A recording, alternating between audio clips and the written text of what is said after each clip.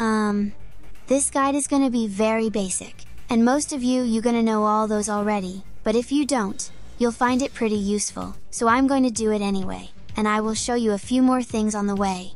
Okay, let's start with the problem because there is always a problem to start with. The problem is that if we run an application from the nightly remote, on this case the prompt app but it happens to every app anyway, the windows won't draw neither the text or the glyphs. See? Basically it looks kinda cool from a design perspective and it is fully functional too. GNOME should consider to add this on their HIG maybe? We'll see. So, there is an open issue here, and surprise surprise it affects only NVIDIA users after GTK defaulted GLES. If you missed this change, the merge request is here and it's for GTK 4.14, so the update will come later and it's not on the current stable. Anyway, go back again. So, where exactly is the problem?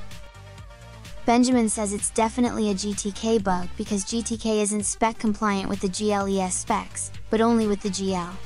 The thing is, that for a month now, everything on main is broken for NVIDIA users, which I can't say it's one of the brightest moments of GTK, and the fact this is on an unstable release doesn't make it much better. At least there is a workaround, and that's to pass the preferred GL environmental variable on runtime. So we can go back to the terminal, and pass it before the run command. And if we run it again, this time will run normally. Although I'm not completely sure what other artifacts the debug parameter can bring, so this is can be considered only as a temporary solution. Also, obviously we can't launch apps like that all the time, and create custom desktop files or setting global parameters on our session isn't a good idea either. What we can do, is to override the environment for specific apps only. And Flatseal makes that super easy. You know, a main reason Flatpak is such a great format, is because of the community support. There is amazing tooling that has been developed outside the core developers, and it's not only Flatseal, but right now it's about Flatseal. So here we are, and here we can simply pass the prefer GL flag, and it will only be set for this specific app. Basically it's exactly the same as running Flatpak override on user space. So if we run prompt one more time, this time we'll run normally with all the bells and whistles. And if you're wondering where the override has been saved, it's on XDG data path, meaning .local and share. Flatpak.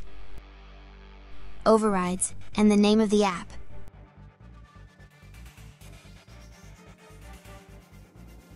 There you go! Some Unix simplicity. Meanwhile, if you don't know the prompt terminal, one fantastic thing about it is that it automatically discovers the installed containers in your system, and you can easily log in on them with new tabs. Mostly handy for using it on immutable systems like Silverblue, but you can use it pretty much anywhere. We'll put a link down on YouTube description on how to get it, and I'm planning on making a video on it later. That was everything for now, bye bye!